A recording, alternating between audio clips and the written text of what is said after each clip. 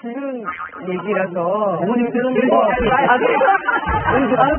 되는 건 어떻게 현실에서는 있을 수 없으니까 그 영화나 드라마를 보면서 그 재미를 느끼고 소명 어머니 불륜의 총명분 찾아 나는 그물을 안고 가는 손에 불레어 깔끔하게 향기도 너라로 그대 위한 밝게도 남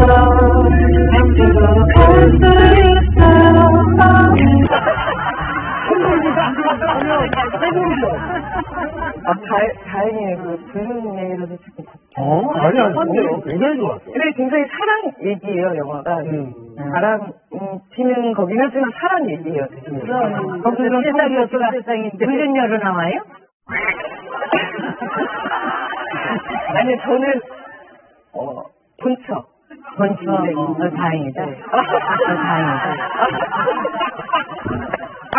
아니 역할인데요 뭐 그런 역할 나오건 뭐 이런 얘기는 어머니들은 역할이라도 불륜녀 맞아요. 연기하지 어 맞아요 맞아요 맞아요 또 제가 전작이 음. 불륜 또 드라마였어요. 이- 그때 저 어머니가 진짜 불륜. 음. 너 그러면 안 된다고. 그러면 안 된다고. 많이.